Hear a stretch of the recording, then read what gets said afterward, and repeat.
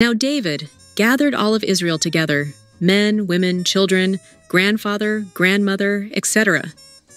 Now David spoke from his heart. He told all the children of Israel the purpose of the temple was to house the Ark of the Covenant.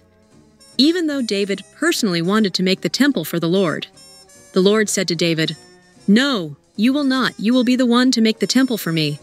Instead, I have chosen your son, Solomon. You, David, have been a man of war all your life. Since blood is on your hand, that is the reason you will not make the temple for me. So your son Solomon will be the one to construct the temple. David said to his son Solomon, Follow the Lord, hear his voice, obey his laws, keep his covenant, keep his commandments, love the Lord, just as I have tried to all my life.